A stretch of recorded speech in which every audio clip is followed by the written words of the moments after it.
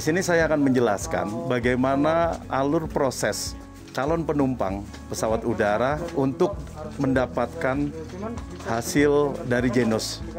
Kita sekarang berada di area pemeriksaan yang disebut runner. Di sini, kalau kita lihat di sini, penumpang dimintakan data yang pastinya penumpang ditanyakan apakah berpuasa 30 menit sebelum ke area ini.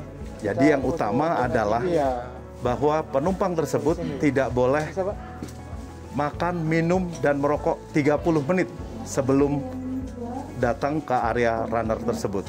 Itu yang pertama. Kedua, disarankan bahwa penumpang, calon penumpang itu melakukan uh, scan QR code untuk mendownload aplikasi Farmalab. Di sini sudah ada dan kami pun dari pihak bandara sudah men-share, mempublikasi QR code tersebut agar penumpang dapat mudah dan cepat ketika melakukan proses untuk mendapatkan hasil laboratorium di Farmalab ini.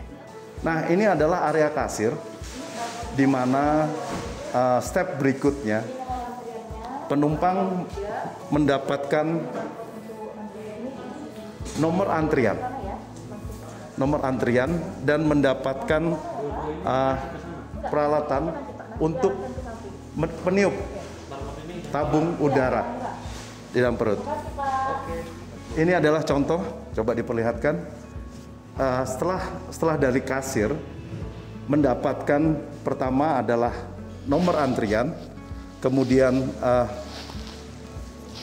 barcode-nya dan breathing bag. Ini yang akan nanti dihembuskan udara yang dihembuskan dari tubuh calon penumpang pesawat. Kemudian ini adalah area pemeriksaan di mana sebelum penumpang menghembuskan udaranya ke dalam breathing bag yang sudah disiapkan, mereka akan standby untuk dipanggil sebelum masuk ke dalam bilik yang sudah ada.